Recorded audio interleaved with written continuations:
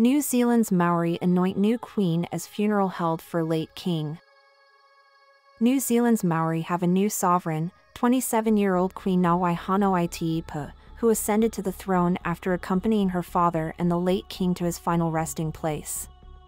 Thousands of people flocked to the North Island town of Ngaruawahia to witness the anointment of the youngest child and only daughter of King Tuheitia Pootatau Te Wherowhero VII as she was escorted on to Turangawaewae marae, an ancestral meeting place, where her father's casket lay draped in feathered cloaks. Cheers rang out among thousands crowded around TV screens outside and waiting along the banks of the Waikato River to glimpse the funeral procession.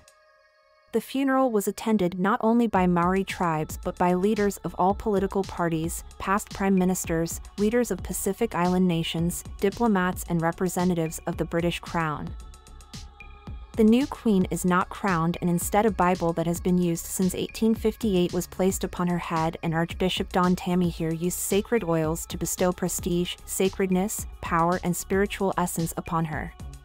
After her ascension, Queen Nga Wai accompanied her father, who died on August 30th aged 69, in a flotilla of traditional canoes along the river as he was guided by Maori warriors to his final resting place.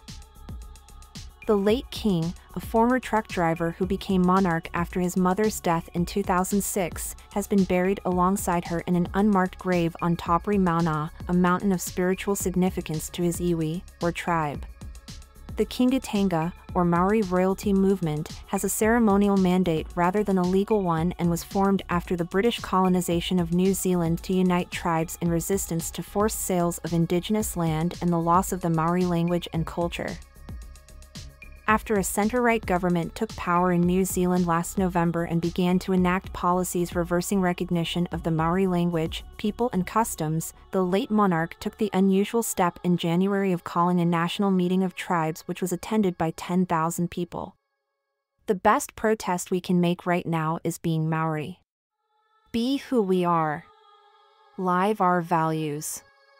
Speak our reo. Just be Maori be Maori all day, every day. We are here. We are strong, he told them, using the Maori word for language.